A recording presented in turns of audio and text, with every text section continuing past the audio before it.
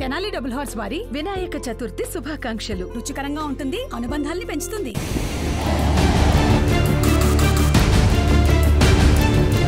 చరిత్రలో ఎప్పుడూ చూడని వరదను విజయవాడ ప్రాంతవాసులు చూశారు. బుడమేరు వాగు పొంగడంతో కొన్ని లక్షల మంది వరద బారిన పడ్డారు.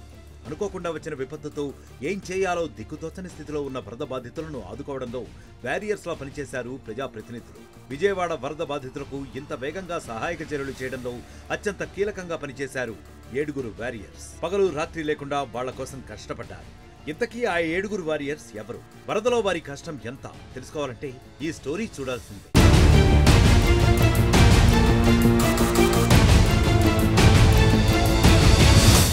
బెజవాడ లాంటి నగరంలో వర్షాలు తప్ప వరదల్ని ఎంత తీవ్రంగా ఎప్పుడూ చూసింది లేదు. అలాంటి బెజవాడలో ఒక్కసారిగా వచ్చిన వరద ప్రళయం కొన్ని లక్షల మందిని ముంచేసింది. ఎలాంటి హెచ్చరికలు లేకుండా ఒక్కసారిగా నగరంలోకి దూసుకొచ్చింది. లక్షల మంది జనం వరద ముంపులో ఉండిపోయారు. ఇది కనీ విని ఎరుగని విపత్తు. ఈ ఆపత్కాలంలో విజయవాడ వరద ముప్పుని సాధారణ స్థితికి తీసుకురావడంలో అత్యంత కీలకంగా వ్యవహరించారు ఏడుగురు వారియర్స్. బాధితులకు ఎలాంటి ఇబ్బంది లేకుండా చూసుకోవడంలో అత్యంత కీలకంగా వ్యవహరించిన మొదటి వారియర్ ఏపీ సీఎం చంద్రబాబు.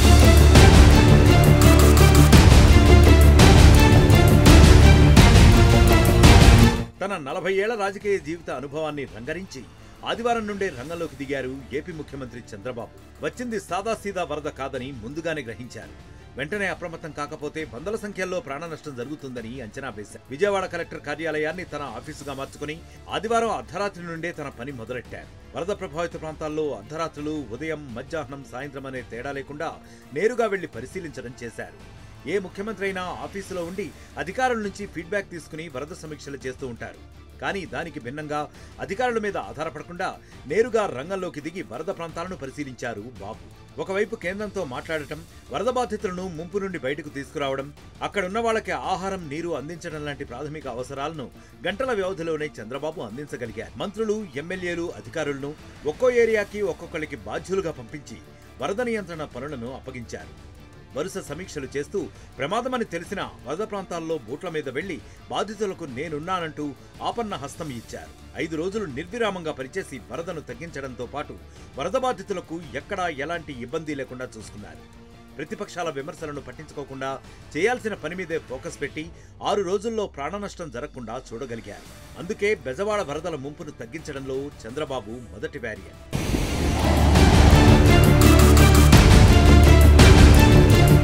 ఇక రెండో వారియర్ ఆయన తనయుడు నారా లోకేష్. బయటికి పెద్దగా రాకపోయినప్పటికీ బ్యాక్గ్రౌండ్లో ఉంటూ అధికారులతో సమీక్షలు చేస్తూ మంత్రులతో సమన్వయం చేసుకుంటూ వరద ముంపును తగ్గించడంలో అత్యంత కీలకంగా వ్యవహరించారు నారా లోకేష్. వరద వచ్చిందని అందరూ ఆందోళన చెందుతుంటే అసలు వరద ఎక్కడి నుంచి వచ్చిందో తెలుసుకుని బుడమేరకు పడ్డ గండ్లను గుర్తించి యుద్ధ ప్రాతిపదికన వాటిని పూడ్చేలా చేశారు. సాంకేతిక పరిజ్ఞానం ఉపయోగించుకుని డ్రోన్ల సాయంతో ఎప్పటికప్పుడు పరిస్థితిని సమీక్షించి వరద ముంపును నాలుగు రోజుల్లోనే తగ్గించడంలో నారా లోకేష్ క్రియాశీలక పాత్ర పోషించారు. బాధితులకు ఆహారం నీరు అందించే చర్యల్ని వెనకుండి నడిపించిన నారా లోకేష్ చంద్రబాబు తర్వాత సెకండ్ వారియర్లా పనిచేశారు.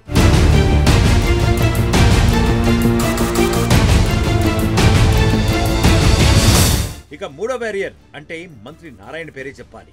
వయస్సును కూడా లెక్క చేయకుండా ఆదివారం ఉదయం నుండి వరద ప్రాంతాల్లో పర్యటించారు.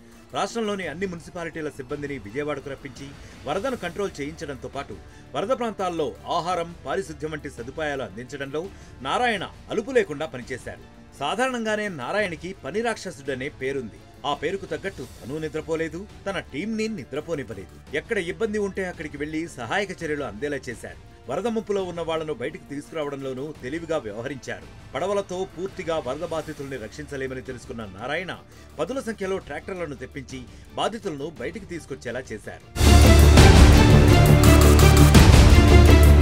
ఇక నాలుగో బ్యారియర్ ఏపీ ఇరిగేషన్ మంత్రి నిమ్మల రామానాయుడు. బుడమేరుగండ్లు పూడ్చే బాధ్యత నారా లోకేష్కి అప్పగించినప్పటికీ రాత్రింబవళ్ళు అక్కడే ఉండి వాటిని పూడ్చడంలో అత్యంత కీలకంగా పనిచేసిన వ్యక్తి నిమ్మల రామానాయుడు. చీకట్లోనూ వర్షంలోనూ అక్కడి నుండి కదలకుండా నాలుగు రోజుల పాటు ఎన్ని ఇబ్బందులు వచ్చినా అలుపెరగని యోధుల్లా ఆ కాలవగట్టు మీదే ఉండి బుడమేరు గండ్లు పూడ్చడంలో నిమ్మల చేసిన కృషి మరిచిపోయేది కాదు.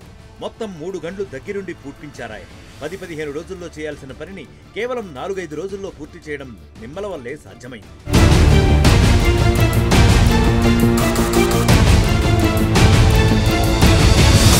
ఇక ఐదవ వారియర్ కేసినేని చిన్ని.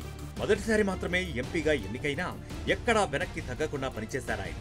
ఎమ్మెల్యేలను మంత్రులను అధికారులను సమన్వయం చేసుకుంటూ వాళ్ళతో పాటే క్షేత్రస్థాయిలో పర్యటిస్తూ తన వ్యక్తిగత సిబ్బందిని రంగంలోకి దింపి తనకున్న నెట్వర్క్ను ఉపయోగించుకొని వరద సహాయక చర్యల్లో అలుపెరగకుండా పాల్గొన్నారు. రాత్రింబవళ్ళు కేసినేని చిన్ని పడ్డ కష్టాన్ని మరిచిపోలేమని బాధితులే స్వయంగా చెబుతున్నారు. ఆఫీసులోనే కూర్చుని ఆర్డర్స్ వేయకుండా సమస్య ఉన్న ప్రాంతాలేంటో తెలుసుకుని అక్కడికి వెళ్ళి స్వయంగా పరిష్కారం చూపేలా అధికారులను అలర్ట్ చేయడం ద్వారా కేసినేని చిన్ని ప్రజల మన్ననలు పొందారు.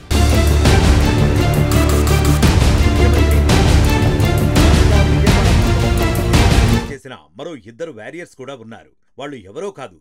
Gannavaram MLA Yarlagadda Venkatrao Mylavaram MLA Vasantha Krishna Prasad. Gannavaram నియోజకవర్గ ఎమ్మెల్యే ఎర్లగడ్డ వెంకట్రావు తన నియోజకవర్గంలో ముంపుకు గురైన ప్రాంతాలను ఎప్పటికప్పుడు పరిశీలించి ప్రజలకు నేనున్నాను అన్న భరోసా ఇవ్వగలిగారు. వరద బాధితులకు ఆహారం పంపిణీ బాధ్యత విజయవంతంగా అమలు చేశారు. అర్ధరాత్రులు కూడా వంటలు చేసే ప్రాంతాలకు వెళ్ళి ఆహారం నాణ్యత విషయంలో రాజీ పడకుండా చూశారు. వరద బాధితులకు సమయానికి ఆహారం అందించడంలో యార్లగడ్డ కీలకంగా పనిచేశారు. అలా ఈ విపత్తులో ఆరో బ్యారియర్గా నిలిచారు యార్లగడ్డ. ఇక మైలవరం ఎమ్మెల్యే వసంతకృష్ణ ప్రసాద్ తన నియోజకవర్గంలోని వరద ముంపు ప్రాంతాల్లో పర్యటించి బాధితులకు అండగా ఉండడంతో పాటు మంత్రులతో కోఆర్డినేషన్ చేసుకుని బుడమేరు వరదను తగ్గించేందుకు కృషి చేశారు. తన నియోజకవర్గంలో ముంపు ప్రాంతాల నుంచి ప్రజలను సురక్షితంగా బయటికి తీసుకురావడంతో పాటు ప్రజలకు అందుతున్న వరద సహాయక చర్యల విషయంలోనూ ముందుండి అందరినీ నడిపించారు. అందుకే బెజవాడ వరదల విషయంలో ఏడవ వారియర్గా నిలిచారు మైలవరం ఎమ్మెల్యే.